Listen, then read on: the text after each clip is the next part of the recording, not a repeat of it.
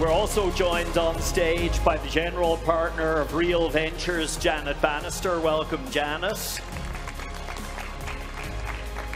And finally, to lead the conversation, we have Recode's Teddy Schleifer. Thanks, Teddy. Welcome, Teddy. Hey, guys, how are you? So, there's, there's some basic disagreement in the world about what even it, this topic we're discussing even is, right? Um, fintech is, uh, I feel like, a term that's been tossed around in sort of a meaningless way. You know, we're discussing backstage, like some people have this idea that Uber is a fintech company, or you know, any company that handles money is a fintech company. Right. Do you guys have any like basic definitions of even like what this topic even is? What even is fintech? I mean, I, I, don't have uh, like a specific view. I, I think what you are starting to see though is that more and more financial institutions are becoming tech companies. And I think that's a trend that you're going to continue to see for uh, the foreseeable future. And I think it's in some ways a byproduct of the financial crisis. So I think there's been a shift in your traditional financial institutions with the recognition that they have to invest more in technology. But I think a lot of them are also stuck with uh, a situation where they have legacy technology, legacy people, including in management, they don't really understand technology. And if you look at the leadership of a lot of these large financial institutions, they're disproportionately older, so they haven't had the experience as a consumer coming up in uh, the technology that we now take for granted. Yeah, and I, I, would say just building on that, um, I would define a fintech company as a company that is, is either working with or competing against um, either a bank or an insurance company or another large tradition, what's traditionally considered financial services company. And um, I often separate them into those two sort of either a challenger, which is actually competing directly against the financial yeah. institution, creating their own brand, creating their own business, and then what I would consider enablers, which are working with. Right the traditional financial uh, companies providing services to them to enable them to be more competitive.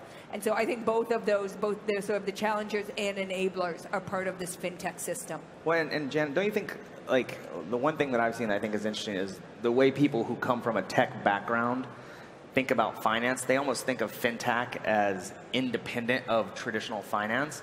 And I think that was fine when you were looking at things like payments and some of the early stages uh, technologies. But now, to me, how do you separate the two, right? Like, the reality is is that technology and the way we use it can't be independent upon bigger trends that are happening in capital markets. And I think a lot of the tech sort of the investors and people in that space think of what they do as independent of these bigger trends that are happening in capital markets and things like that. And I'm a markets person, so to me, that I'm anchored there, and then I think about technology versus the reverse. Yeah, I mean, I think to, to some extent, I think, well, geez, every, everything is integrated. Integrated. Right. Um, I guess I come at it more from a consumer business perspective, and I think about, you know, really what we're seeing is actually the unbundling of a traditional bank, right? And we're seeing this. A traditional bank has, you know, under one roof had all these different service service lines. And what financial service, or uh, what a lot of fintech companies are doing is they're saying, hey, we don't need to offer all these services. You know, when everything's online, you're no longer going to the bank where you know, you want to get all the services in one place. And so we have best of breed lenders, best of breed, um, you know, wealth management companies, etc. And those companies that can go after a specific vertical and offer the absolute best value proposition for their target customer in that vertical, I think are winning out over the established players who try to offer everything and be everything to everybody. Right, the unbundling of the supermarket model. yeah. yeah. Exactly. So let's talk about it from, from, each, from each side, both the incumbent and the challenger. If you're an incumbent in the fintech space, whether you're you know, Goldman Sachs or you're Visa or you're Wells Fargo, you know, or you're a wealth manager, I feel like there's a, I mean, if, if the goal of a startup is to find a space where there's a big, you know, incumbent that nobody likes, I mean, I don't think people like Wells Fargo. They don't like, you know, going and dealing with the, the banks or you know the the incumbents, they have trouble, and I think a lot of the better minds in fintech understand that. If you were you know running one of these incumbents these days, is, is the solution just to like you know, do balance sheet investing? Is it to buy these companies early? Is it to try and you know go to war and beat them? I know you guys are not executives at you know Wells Yeah. Fargo in this example, but what do you to do given the fact that there's high customer dissatisfaction with the incumbents, and you know, but they still have this brand, right? Goldman Yeah. Sachs is not displaced overnight. Right. Yeah. I mean, look, I, I think the uh, fitting in that, uh, the thing that I've been struck by, you know, we're, we're an investment business. We invest in real estate and we use technology to do it more efficiently. And, you know, we have relationships with VCs that want to fund our operating company. The one thing I've been struck by in my time spending with the tech community and with VCs is the lack of understanding of capital markets. And to me, that's the real opportunity because you think about capital markets as we know it, global capital markets, they're only 30 years old, right? And the, the reality is, is that that's the opportunity for these tech, fintech companies is you can bypass the banks because you have more efficient financing out in the capital markets. But the lack of understanding inside of these tech companies about how the capital markets actually work and your ability to access them because you're competing with banks. Banks are going to have a lower cost of capital than a tech company. The way a tech company can have a lower cost of capital than a bank is if they access the capital markets. But you look at the sort of lack of sophistication inside of these tech companies when it comes to understanding uh, financial markets. And I think that they're really missing an opportunity. I think that will be the next space is where you see these tech companies, like you said, pick a specific market area to go after. And then instead of doing it through a bank or partnering with a bank, you actually go around them and you partner with an investment bank and you go out into the capital markets. Yeah. Uh, I think, I mean, to your, to your question around, hey, what do you do if you're an executive at a legacy, legacy financial institution? Yeah. How do you react? And um, I mean, I think it's, it's fascinating to me, you know, having sort of been involved in technology and, um, and different markets to have seen how they react. And what always struck me, I mean, whether you look at the retail industry back with, with um, when Amazon entered, whether you look at the um, news industry, the television industry, the newspaper industry, etc., like you just go down and what you see as a pattern in all of those industries that have been disrupted by technology is that the incumbents say our industry is different. We're not going to be affected. Right. Um, we've got our brand, we've got a distribution, we're different. Now, what I notice about the financial institutions is actually um, they're the first major industry that I've seen that actually recognizes the issue, and I think because they've seen Right. so many other challenges, so many other industries disrupted. So I think, So you think, you think they're reacting appropriately quickly? well, that's the next question. I think they're recognizing the challenge. Yeah. I think the challenge is for them though is how do they react, right? And so I think that most uh, financial institutions are employing a host of strategies, right? They're they're doing the classic. They're investing in companies, they're buying companies, and they're building within, and they're trying to do all things. Um, but I think that at the end of the day, and some of these executives that I have talked to at financial institutions, you know, they're in a bit of a bind because they are they are public companies, and while they know they need to basically disrupt themselves, at the same time they got to meet next quarter's financial targets. They got to meet Wall Street's targets in the next quarter, and so I think it's it's And tough. most of these startups are presumably unprofitable entities that are, you know, not going to improve margin. Exactly. You know, improve yeah. I mean, where there's an easy win is for the um, incumbent players to use technology in order to drive greater efficiencies, in order to better meet customer needs. Internally, yeah. Internally. So, Sure. in order to adopt these enabling technologies that help them be more efficient, um, you know, that's a relatively easy step that they're Sure. that we see them taking. Well, and, and you can't separate you know what's happening in the technology space from what's happening in the financial services industry right i mean it is a race for scale right these guys have to get bigger because their margins are getting compressed whether you're a bank or you're a large asset manager and so their focus is on scale and growth therefore their ability to invest in technology i think is limited which is why I think what you'll see them end up having to do is they'll have to buy technology to bring it onto their platform, or I think a more likely scenario is what you'll see these large banks and large asset managers becomes. They're just square peg, square hole businesses, and everything else will just go to the outside, go to these smaller uh, fintech companies. Because anybody who starts, look, I started an investment firm this past year, and I left a large asset manager technology is at the core of what we do, not because we're a fintech company. Technology is at the core of what we do because we started our business in 2018. anytime you're starting a, a, finance business in 2018, you're going to be a fintech business, no matter what it is you do. And I think like evidence of that is if in the you know if you live in the U.S. and you want to get a mortgage, you can go online just like you're uh, buying a plane ticket on Expedia. So I think that these companies that are going to be started, whatever financial company gets started today, yeah. is going to be a fintech company, even if you're just a plain vanilla asset manager. From the from the challenger point of view, you know, let's take a company like uh, like Robinhood, right, which is now a massive, you know at least valuation success story. Um, when you're starting out and you're looking at like Charles Schwab, right? It doesn't look like an easy ride. I think one big challenge for fintech companies, especially, is just regulation.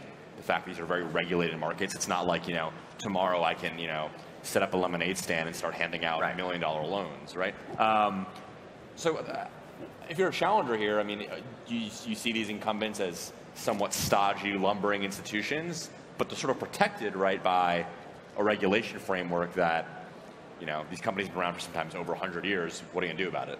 Yeah. yeah. So, so if you're a challenger, how do you deal with the regulations? I mean, I think that it's interesting, and we see different dynamics on that in different countries around the world. Right. Obviously, every Europe's going to be different than the U.S. Right. Exactly. So it's so it's very different, and even in the U.S., often state by state, it's different. We have an uh, insurance company in the U.S., and they actually need to be licensed in every single state that they want to operate in. So it really varies. Um, but I think for these uh, challenge, um, sort of challenging challengers. I think the big the big challenge for them is to get the distribution rapidly, right? And so right. I often think, hey, you, if you're a big incumbent, you have the customer base and the brand name, but you don't have the technology, you don't have the innovation. And if you're a young company, you have the innovation, you have the value proposition, you have the offering, but you don't have the distribution. And so then it becomes very much, hey, how do you scale quickly? How can you get customers at a reasonable cost relative to the value of those customers? And yep. I mean, one thing about a lot of financial institutions, which is different from a lot of businesses, is there are is there tends to be a very high value of each customer, which enables them to um, you know spend more on customer acquisition. Well, I think yeah, I, I agree with that. But the, the the thing that I think is also important is that if you look at the regulatory environment post financial crisis with Dodd Frank, I think what you've ended up with is the banks are going to become, you know, I said this earlier, like, you know, square peg, square hole businesses. They're going to stay within the framework uh, that that the regulators and also their shareholders want them to. So they're pretty well defined what the banks are going to be. I think what the result of that is is that you actually end up with a lot of innovation happening away from that space, right? So the banks are going to become, you know, the people that work there aren't dumb, but the banks will become dumb pipes. And I think what you'll end up with is that a lot of the innovation, whether it be technological innovation, but also like financing creativity and coming up with new financing structures, those will happen away from the banks and away from the large asset managers. And I think what you'll see if you're the you know next generation of financial institutions uh, is that you're going to go one of two ways. Either one, you'll say we're going to stick to our thing. We're going to be this boutique, and you know if we invest in this space, we'll have a few billion dollars of AUM, maybe a little bit more. Or you'll be bought and put onto a platform like a big institution, like a BlackRock or somebody like that. Right. So if you're starting a business today, I think you go one of two ways, and I think a lot of that is driven by regulation, but also uh, the shareholders of these institutions.